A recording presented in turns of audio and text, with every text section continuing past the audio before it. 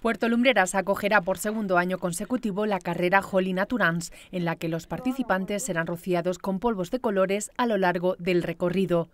Este evento para todos los públicos tendrá lugar el sábado 30 de junio y ha sido presentado por el concejal de Actividad Física y Deportes de Puerto Lumbreras, Juan Rubén Burrueco, y la organizadora del evento, Ana Sosa.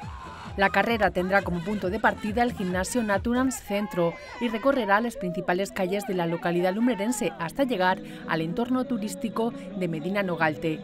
Una vez allí, los participantes podrán disfrutar de actividades de animación y música a cargo de DJs en la carpa del castillo. El concejal de Actividad Física y Deportes, Juan Rubén Burrueco, anima a los ciudadanos a acudir al evento disfrazados para dar más color todavía a esta divertida jornada